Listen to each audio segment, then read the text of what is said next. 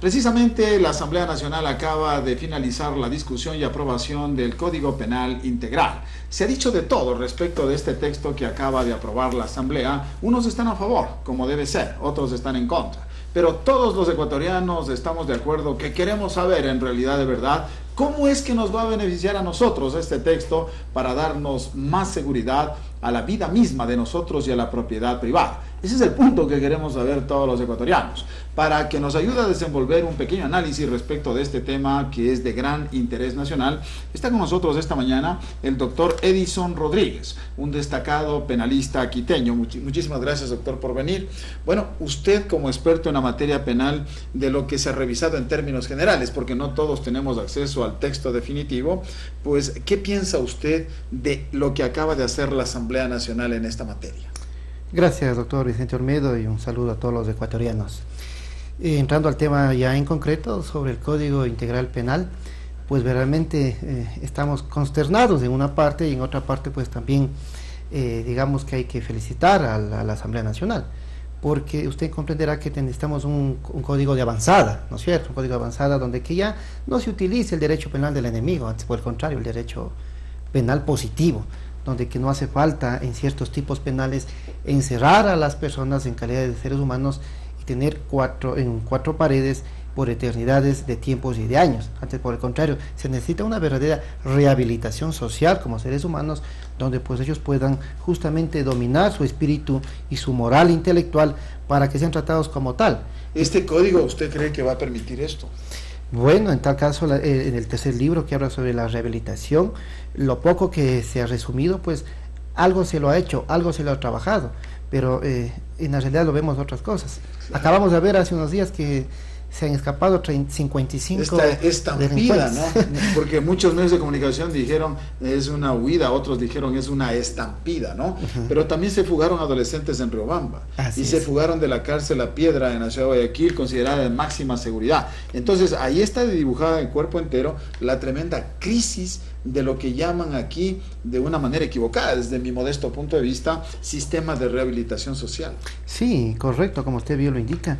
Eh, pues en calidad de abogado en libre ejercicio, donde yo al día a día tengo que estar en las cárceles, tengo que estar en los juzgados, en los tribunales, pues se verifica esa, esa emoción de estas personas privadas de libertad, donde que necesitan una rehabilitación que hoy por hoy pues no lo vemos. Esperemos que con el código haya cambios suficientes para que pues en, en el futuro tenga eco ese, esa rehabilitación. Pero eh, usted comprenderá que el código no solo comprende la rehabilitación, vemos tipos penales. Yo me he quedado un poco insatisfecho porque eh, nosotros mientras pedimos tipificaciones de delitos, por otro lado no se nos, se nos escucha, pero sí veo que, que están tipificados como el agredir a un animal. Pero si nosotros pedimos tipificación para los desaparecidos... como asesor de la Organización de Familiares y Amigos de los Desaparecidos, porque el doctor Edison Rodríguez, que nos acompaña esta mañana, él ayuda a los familiares de los desaparecidos en nuestro país y precisamente mencionábamos en conversaciones con él y también con los familiares de los desaparecidos lo importante que hubiese sido que los señores asambleístas no se olviden de los desaparecidos y que tipifiquen dentro de este marco legal y tomando en cuenta este texto precisamente los varios tipos de desapariciones que existe. Ustedes hicieron un planteamiento, fueron donde Mauro Andino, estuvieron en la asamblea, hicieron la propuesta, pero ¿qué pasó?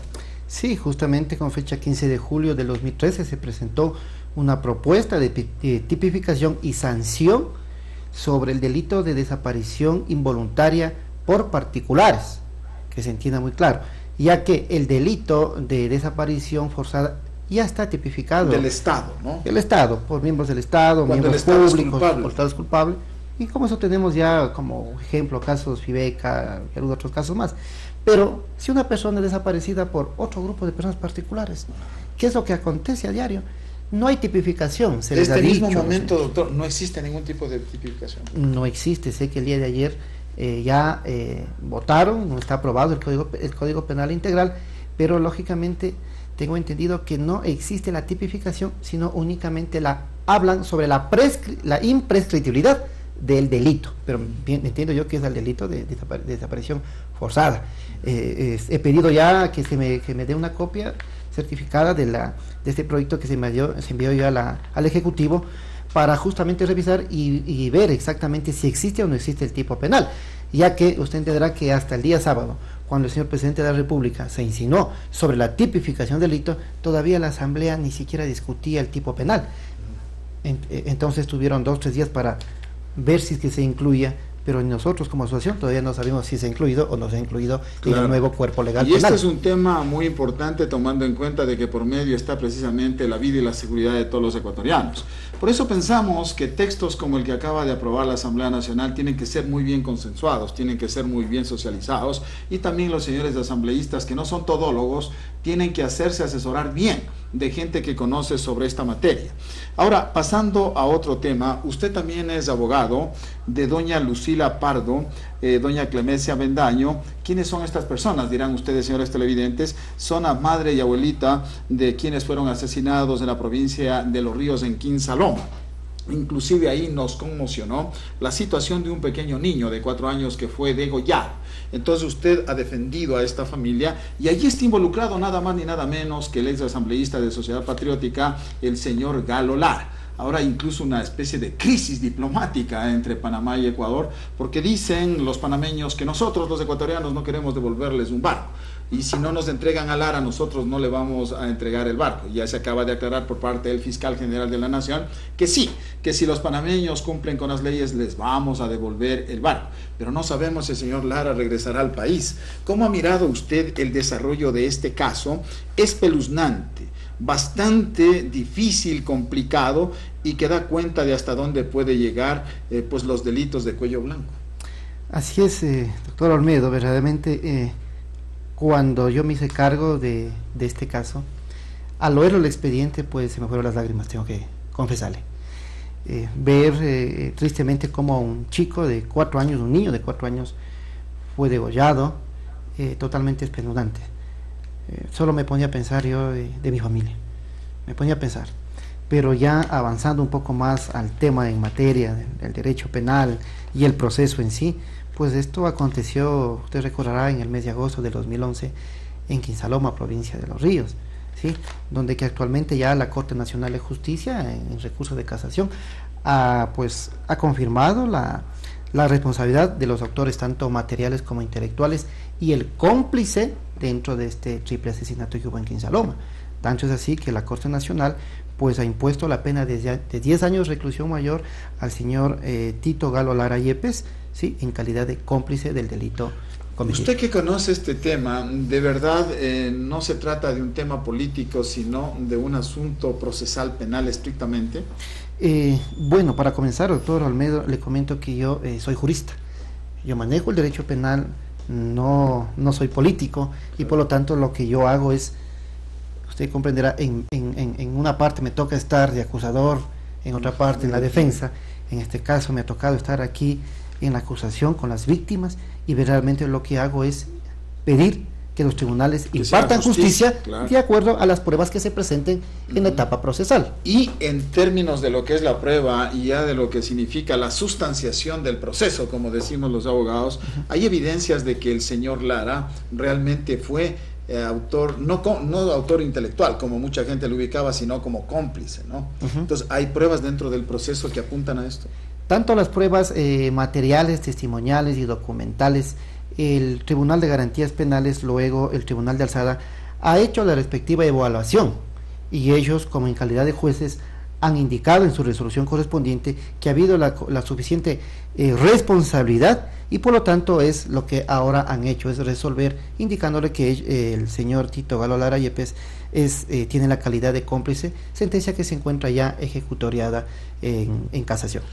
Es decir, la situación es extremadamente clara ahora que se ha vuelto a poner de moda el tema de Galo Lara en vista de este barco panameño. El tema no es político, el tema es estrictamente legal y tiene que ver con el asesinato de tres personas en Quinsaloma, provincia de Los Ríos pues el tema ha sido terrible y yo creo que vale la pena que se haya hecho justicia.